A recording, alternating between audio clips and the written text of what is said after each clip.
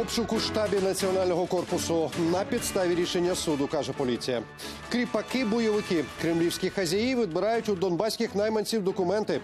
Європа почула Мей із Москви. Відкликають посла ЄС і ще п'ять країн готові вислати російських дипломатів. Головні теми першої половини насиченої інформаційної п'ятниці. Просто зараз у випуску новин ви дивитеся інтер у студії Олексій Фадєєв. Вітаю. У Шевченківському е, райсуді Києва у ці хвилини триває засідання у справі Надії Савченко. Народні депутатці обирають запобіжний захід. До суду вже надійшло клопотання про арешт. Приміщення суду посилено охороняє сотня нацгвардійців.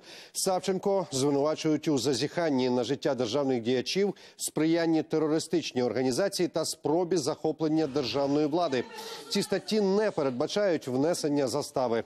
Напередодні нагадаю, Верховна Рада позбавила Савченко депутатської недоторканності і дала дозвіл на її арешт. Після цього співробітники СБУ затримали депутатку просто у приміщенні парламенту. Наші кореспонденти стежать за перебігом судового засідання. Про його результати дізнаєтеся вже з вечірнього випуску новин. Головне слідче управління Нацполіції сьомої ранку сьогодні проводить слідчі дії у штабі партії Національний корпус та у приміщенні громадської організації Азов у Києві. Вони розміщені на територію заводу АТЕК. За словами очевидців, там перебувають близько трьох сотень силовиків. За інформацією Нацполіції, оперативну роботу проводять на підставі санкцій суду. Деталі операції правоохоронці обіцяють оприлюднити вже найближчим часом. Обшуки сьогодні проводили і в Харківській міськраді. Як повідомив речник Генеральної прокуратури Андрій Лисенко, санкцію на це дали районні суди міста. Слідчі шукають документи та інші дані пов'язані з реконструкцією спортивних об'єктів у Харкові. Слідчі перевірили близько 20 кабінетів та помешкань підозрюваних чиновників. На сході країни уже другу добу поспіль зберігається тиша. На лінії розмежування зафіксовано повне дотримання режиму припинення вогню. Українські захисники утримують позиції та уважно спостерігають за діями противника. Так повідомили у штабі АТО. У російських найманців, які воюють на Донбасі, відбирають паспорти. Про це повідомила українська розвідка. Ба навіть більше бойовики вилучають усі документи, які можуть підтверджувати їхнє громадянство. Акцію, яку на окупованій території проводять уже не вперше, контролюють представники російського генштабу, зазначили розвідники. Допомогу для України у розмірі 620 мільйонів доларів затвердила нижня палата Конгресу США. Про це повідомило посольство України у Сполучених Штатах.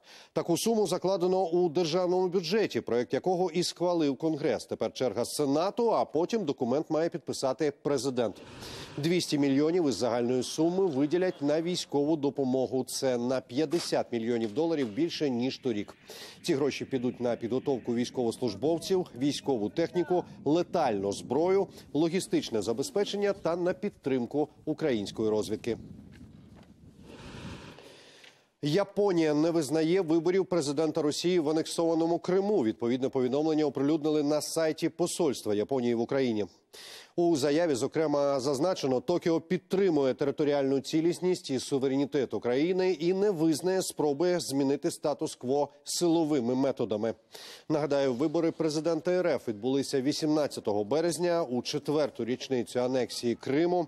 Дільниці працювали зокрема і на окупованому українському півострові. Про погіршення стану Сергія Скрипаля та його дочки заявили британські медики. кажуть, нервово-паралітична речовина новачок сильно вразила мозок постраждалих, і це може серйозно вплинути на їхні розумові здібності. Водночас наслідки впливу отрути у довгостроковій перспективі досі точно невідомі. За майже три тижні після отруєння екс-полковник ГРУ е, Сергій Скрипаль та його донька перебувають під потужним впливом седативних препаратів. Їхній стан лікарі оцінюють як стабільно критичний. Солідарність із Великою Британією у справі Скрипаля висловили європейські лідери. Про це йдеться у проєкті заяви учасників саміту ЄС у Брюсселі. Напередодні Тереза Мей, укотре заявила отруєння російського екс-агента, глава е, справа рук Кремля та безпосереднє зазіхання на безпеку Сполученого Королівства. Для докладнішого розгляду цієї справи лідери європейських країн домовилися відкликати посла ЄС Маркуса Едерера з Москви. І водночас ще п'ять країн Франція, Польща, Естонія, Литва і Латвія розглядають можливість висилки російських дипломатів. І нагадаю, колишнього полковника ГРУ Скрипаля та його доньку отруїли нервово-паралітичною речовиною новачок на початку березня.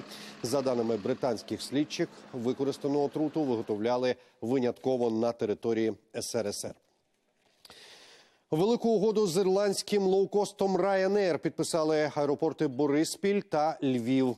На церемонії підписання у Борисполі був присутній Петро Порошенко. Він зазначив, що перші польоти очікують вже у жовтні, оскільки ще потрібно закупити окремі літаки, створити інфраструктуру та сервіс. Планують відкрити 10 напрямів із Києва та 5 зі Львова. Початкова ціна квитків складатиме 10 євро. Це не просто можливості перевезення за дуже конкурентними тарифами. Сотні тисяч, якщо не мільйони українських громадян.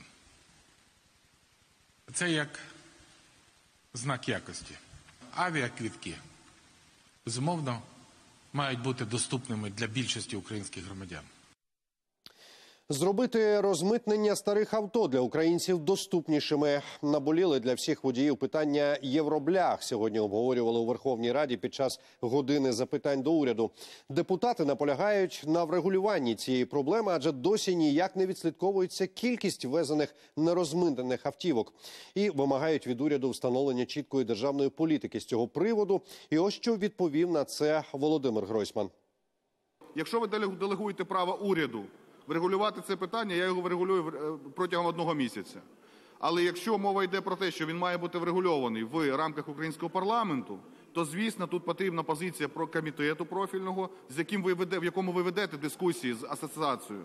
І якщо ви спостерігали за моєю заявою, я сказав про те, що те, що ви повторили щойно, я за те, щоб всі були в рівних е, умовах. Які це умови? Давайте разом вирішувати в рамках парламенту. Е, Ми готові долучатись до дискусій, яку ви розвернули на базі свого комітету, і ми готові займати конструктивну позицію. 11 людей зазнали травму у луцькій маршрутці, зокрема й одна дитина. Коли мікроавтобус пригальмував на зупинці, в нього в'їхала інша маршрутка. Дев'ятьох постраждалих доправили до лікарень. Решті допомогу надали на місці. 5 мільйонів гривень на добу стільки витрачають у Дніпрі на боротьбу з наслідками снігопадів. Минулого минуло 4 дні після негоди. Проте на тротуарах, як раніше, метрові кучугури, а дороги не чищені. Куди йдуть гроші, з'ясовували наші кореспонденти. Аномальні березневі опади виявилися для Дніпра ще й витратними. За добу випала двомісячна норма до 40 сантиметрів снігу. Чиновники відзвітували, комунальні служби працюють цілодобово. На боротьбу за стихією витрачають по 5 мільйонів гривень щодня. Хоча зізнаються, навіть з таким бюджетом не змогли залучити до розчищення міста достатньо ресурсів. С воскресенья у нас на линию э, от одной подрядной организации не вышло 40 единиц техники. Это чрезвычайно много, то есть это огромное количество. Я смотрю на GPS, их нигде нет, где. А вот нам не понравилось то-то, и вы знаете, мы, вы там, мы считаем, что нам не доплатили. Куди йдуть бюджетні мільйони, не розуміють жителі масиву Діївка. Кажуть, навіть через чотири дні після снігопаду ситуація на вулицях не надто змінилася. Напередодні вперше змогли вибратись зі своїх будинків. ніхто на роботу не їздив. Коли сніг сильно пішов, навіть на, на маршрутках виходиш, маршрутки не їздили, бо, бо сильно було тут багато снігу. Їздити тут досі неможливо, скаржиться водій 108-го маршруту. Його автобус застряг. Чоловік не розуміє, про яке розчищення розповідають чиновники. Машины не посыпают дороги. эти. Проезжают мимо, э, лопату не пускают. Едет, песок сыпет, это самое, пусти лопату и почисти заодно. Нет, пролетел это. У центрі міста дороги висохли завдяки сонцю. Але сніг на узбіччі нікуди не дівся. Всюди височіють метрові замети. А тротуари в деяких місцях досі непрохідні. Не убирают ямы. Как вы считаете, вот такое состояние тротуаров стоит миллион гривен на, на расчистку? Нет. Вот Это ежедневно все груз- абсурд. У тому, що в місті складно і проїхати, і пройти, профспілка автоперевізників звинуватила комунальників, незадоволені їхньою роботою і рятувальники. Я хотів би звернутися до міської влади, щоб вони не самоусувалися від е, роботи стосовно витягування і розтягування цих заторів. Ми залишаємось сам на сам з цією проблемою. За прогнозами, сьогодні в Дніпрі черговий снігопад. У мерії вже підрахували, якщо випаде 15 сантиметрів снігу, прибирання обійдеться в місту ще в 1 мільйон 200 тисяч гривень. Поліна Спасенко, Олена Медалюк, Євген Кодінцов. Новини, телеканал Інтер, Дніпро.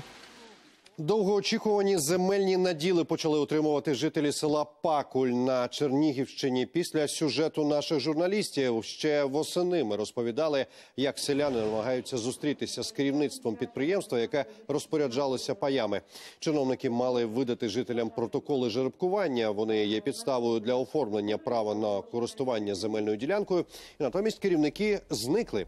Після виходу сюжету в ефір до вирішення питання долучилася обласна рада. І от у березні таки почали видавати документи. Їх одержали вже 15 жителів Пакуля. На черзі ще кілька десятків людей. В березні 2018 року дирекція Стовполісся поновила видачу протоколів жеребкування. На даний час заяви громадян щодо видачі протоколів жеребкування приймаються і надалі вони, е, регистрируются в районной державной администрации и на надалі делаются документи. У Кременчуці родина 16-річного хлопця Валентина Чурсіна просить небайдужих допомогти синові подолати рак. Діагноз саркома Юінга встановили рік тому. За цей час підліток переніс операцію та численні курси хіміотерапії, але безрезультатно. Надію на одужання дали корейські медики. Однак лікування дороге. Треба зібрати 21 тисячу доларів. Валентину 16. Рік тому в нього раптово почала боліти спина. Спочатку місцеві лікарі встановили діагноз остеохондроз. Однак вже за 4 місяці в Києві батьків приголомшили. У Валентина рак правої лопатки. Далі 6 блоків хіміотерапії та операція. Однак це не допомогло подолати хворобу.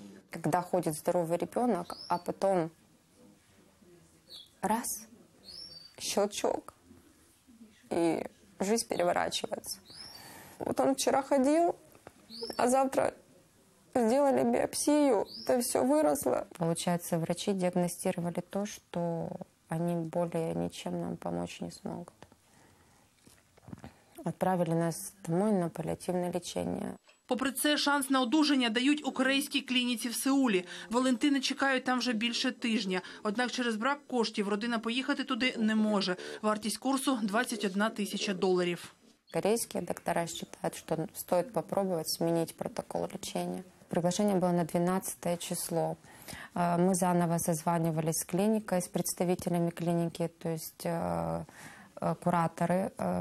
Они сказали, что ну, ничего страшного, мы будем клинику держать в режиме, то есть неделю-две они смогут подождать, то есть главное собрать эту сумму. Ще рік тому Валентин, непосидючий та відкритий, професійно займався футболом та мріяв про спортивну кар'єру. За рік хвороба у хлопця відібрала багато сил, однак не жагу до життя та подальшої боротьби. Сил особо нету, ножки болят, спина болит, бо- по боли жмут.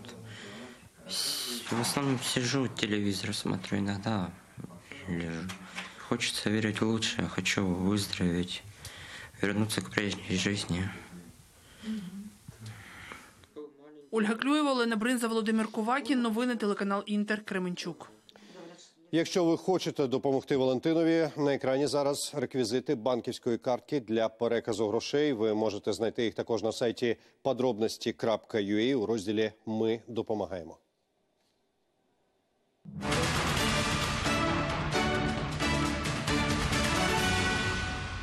Продовжуємо випуск повідомленнями з-за кордону. 19 загиблих, щонайменше 40 поранених унаслідок чергового удару сирійських урядових військ по оазі Східна Гута. Такі дані сирійського центру моніторингу за дотриманням прав людини. Східна Гута остання територія, яку утримують сирійські повстанці. Минулого місяця асадівські війська, підтримувані Росією, розгорнули там масштабну наступальну операцію. Унаслідок численних авіаударів сирійській оазі загинуло щонайменше тисяча мирних жителів. Серед них понад дві сотні дітей. Регіон на межі гуманітарної кризи. Люди не мають води, харчів, і 70% будівель зруйновані.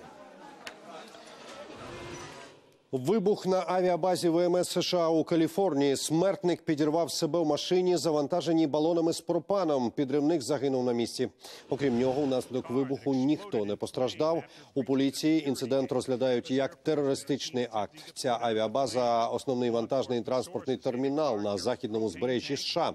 На її території постійно перебувають близько 7 тисяч військовиків.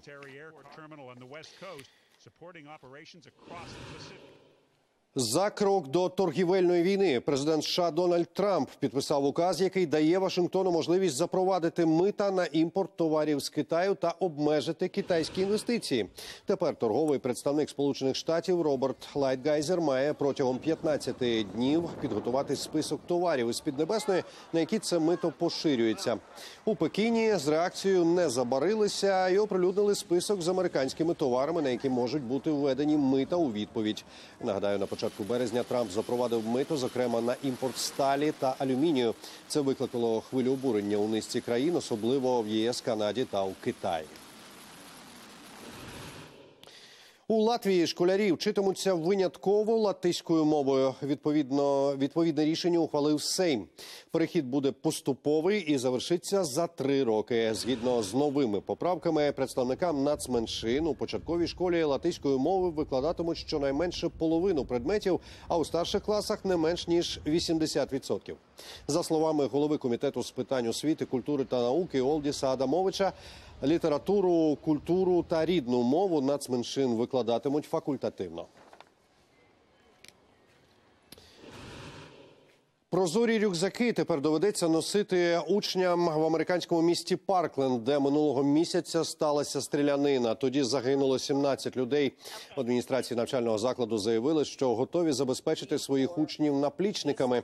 Ну, крім того, діти мають носити іменні значки, перебуваючи на території школи. Масові протести прокотилися Францією. Державні службовці, залізничники, працівники авіакомпанії, вчителі оголосили загальнонаціональний страйк і вийшли на вулиці Парижа. Не минулося без сутичок. Активісти кидали каміння і е, в поліцію трощили сміттєві баки та вітрини магазинів. Правоохоронці у відповідь застосували сльозогінний газ. Найбільше протестувальників обурюють реформи, які призведуть до масових скорочень. Сьогодні до страйкарів приєднається авіакомпанія Air France. Майже третину рейсів скасують. Фіни найщасливіша нація у світі. Про це свідчить останнє дослідження ООН. У чому ж їхні секрети, як їм вдалося обійти інші країни? Дивіться про це в нашому наступному сюжеті. Сірі вулиці, громадський транспорт, люди поспішають у справах. На перший погляд, звичайні будні європейців. Якби не одне але це Фінляндія, і тут живуть найщасливіші люди у світі. Ані похмура погода, ані буденні справи не заважають їм отримувати задоволення від життя. Якщо подивитися на вулиці Гельсінкі, особливо взимку, коли холодно і сніжно, складно повірити, що фіни найщасливіша нація. Студент столичного інституту Франк Мартелла давно цікавиться, чому фіни посідають перші місця у рейтингу щасливчиків. Задоволення від життя залежить від низки факторів: наскільки добре працюють інституції в країні, наскільки заможна держава, в якій ти живеш, чи велика різниця між бідними і багатими. Крім того, має значення, чи люди довіряють владі, який рівень корупції в країні і як вільно громадяни почуваються в ній. Усі ці чинники зазвичай мають найкращі показники у Фінляндії та інших країнах Північної Європи. Жодних секретів щастя фіни не мають. Кажуть, головне, що усі основні потреби виконуються. Частково за рахунок держави, частково завдяки самим фінам, які не чекають мани з неба і працюють. Щоправда, робота має приносити не лише задоволення, а й заробіток. Цілком можливо досягти балансу між роботою і особистим життям, коли люди закінчують працювати о 4-5 годині і ще мають час на себе та родину. Фінам справді годі скаржитися. Середня річна зарплата в країні 26 тисяч євро. Їх цілком достатньо для задоволення від життя. Одне з найпопулярніших місць, де жителі проводять вільний час фінська баня. Тут усі мають відносно рівні можливості. Нас цілком влаштовує такий ритм і спосіб життя без різких падінь та підйомів. Стабільність, високий рейтинг довіри до влади, суду, а також гарна освіта і система охорони здоров'я. Саме за це країна і посіла першу сходинку рейтингу найщасливіших націй у світі, згідно з останніми дослідженнями ООН. Щоправда, є одна ложка дьогтю, яку минули в офіційній доповіді. Це один з найвищих показників суїциду. Майже 14 людей зі 100 тисяч вкорочують собі віку. Крім того, фіни забагато вживають алкоголю і сидять на антидепресантах. Ганна Ільїних, новини, телеканал Інтер. В Афінах піщана буря до грецької столиці пісок принесли вітри з півночі африканського континенту із пустелі Сахара. Через погану видимість е, в Афінах скасовують авіарейси. е, Авіарейси влада закликала людей за можливості залишатися вдома. Відчайдухи, щоправда, не дослухаються до рекомендацій і виходять, аби сфотографуватися на тлі піщаної завіси. В Індонезії три десятки людей постраждали через виверження вулкана Іджен. Усіх їх доправили до лікарень з симптомами отруєння газами. Близько 200 людей, серед яких туристи евакуювали. Усі роботи у навколишніх шахтах наразі припинили. Вулкан Іджен відомий тим, що неподалік видобувають жовту сірку, яку використовують у косметиці та ліках. Рибу робота на ім'я Софі сконструювали американські науковці для досліджень морських глибин. Півметрове механічне створіння зовні дуже схоже на звичайну рибу. Завдяки рухливості штучних м'язів. Ніс Софі оснащений електронними датчиками і камерами. Вона може маневрувати серед густих коралів і працювати як навігатор. Розробку вже успішно протестували поблизу островів Фіджі. Прокинувся відомим. Шестирічний Карден Корце з американського Денвера просто виконав домашнє завдання з батьками. У дитячому садку його попросили скласти прогноз погоди. Хлопець попросив допомоги батьків, і родина підійшла, підійшла до справи творчо. І, до речі, батько Кардена працює на одному з місцевих телеканалів. Результат вийшов таким кумедним, що тепер Кардена запрошують записувати справжні прогнози погоди для міста. Українські митці готуються до фестивалю писанок. Розпочнеться він 5 квітня. Усі експонати мають бути готові вже за тиждень. Цьогоріч митці розписують не яйця, а фігури кроликів. Більше у сюжеті Магди Кривов'яз. Мой заяц — это такая вот э, своего рода вселенная. То есть я хочу изобразить э, вселенную, которая живет в каждом человеке. Надихнути інших на творчість та зробити так, аби кожен зміг побачити в цій роботі себе. Саме це взяла собі за мету Валерія. Это будет абстракция, это абстрактная работа. Это будет вот э, какие-то такие вот ну, э, произвольные мазки, которые создают э, нам общий образ. Вот, и будут напоминать нам космос. Взяти участь у фестивалі Валерія хотіла вже давно. каже, це шанс проявити себе.